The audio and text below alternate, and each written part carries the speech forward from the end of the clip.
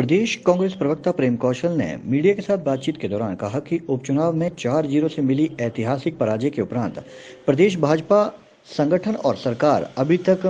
सदमे की स्थिति में है तथा हार पर चिंतन तक करने से कतरा रही है और इस बात को लेकर असमंजस में है कि हार का ठीकरा किसके सिर फोड़ा जाए। उन्होंने कहा कि चारों सीटें जीतने के उपरांत 2022 के विधानसभा चुनावों के मद्देनजर प्रदेश कांग्रेस अध्यक्ष कुलदीप राठौर की अगुवाई में प्रदेश कांग्रेस पार्टी,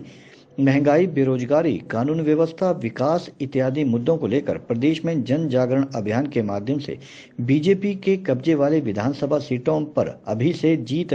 दर्ज करने का लक्ष्य निर्धारित करके आगे बढ़ रही है और एक रणनीति के तहत काम किया जा रहा है। प्रेम कौशल ने कहा कि मुख्यमंत्री हार से विचलित होने के चलते अब विगत चार वर्षों की विफलताओं के ऊपर पर्दा डालने की कोशिश कर रहे हैं। उन्होंने कहा कि अब शेष आठ दस माह में अधिकारियों को निशाना बनाकर उनसे पिछली भरपाई करने का प्रयास किया जा रहा है, परंतु उन्हें ये समझना चाहिए कि अब पछतावे से कोई फ़ायदा नहीं है। उन्होंने कहा कि प्रदेश में अब परिवर्तन की लहर चल चुकी है और कांग्रेस पार्टी जनता के मुद्दों को लेकर जन जागरण अभियान एवं विभिन्न कार्यक्रमों के माध्यम से परिवर्तन की इस हवा को आंधी के रूप में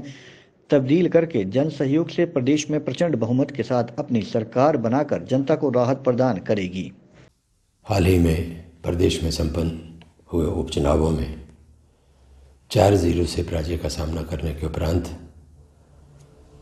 भारतीय जनता पार्टी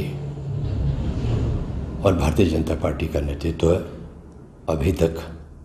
सदमे की स्थिति से उबर नहीं पाया है। और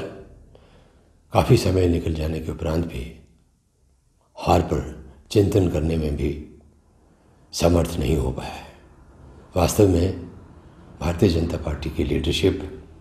हार का ठीकरा किसके सिर फोड़ा जाए, इसको लेकर असमंजस की स्थिति में दूसरी तरफ़, प्रदेश कांग्रेस अध्यक्ष कुलदीप राठौर के नेतृत्व में कांग्रेस पार्टी उन विधानसभा क्षेत्रों जहाँ भारतीय जनता पार्टी के विधायक हैं, उनमें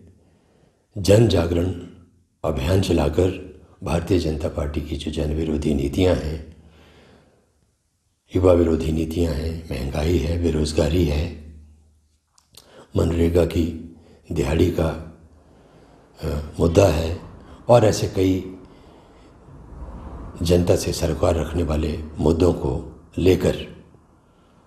गाँव गाँव में जन जागरण अभियान के माध्यम से जनता को जागरूक कर ऐसे विधानसभा क्षेत्रों में भारतीय जनता पार्टी से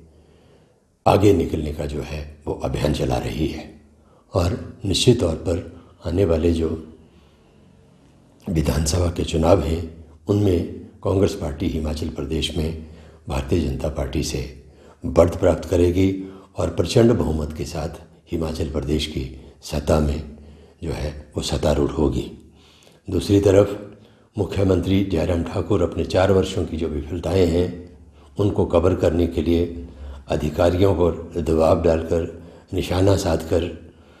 प्रयास कर रहे हैं, कोशिश कर रहे हैं, लेकिन उनको एक बात समझनी चाहिए कि अब पछताए क्या होत जब चिड़ियाँ चूके खेत। समय अब निकल चुका है प्रदेश में परिवर्तन की हवा चल चुकी है और कांग्रेस पार्टी और कांग्रेस के कार्यकर्ताओं और नेताओं के अभियान से जन जागरण की जो मूवमेंट है, उसके माध्यम से, आंदोलनों के माध्यम से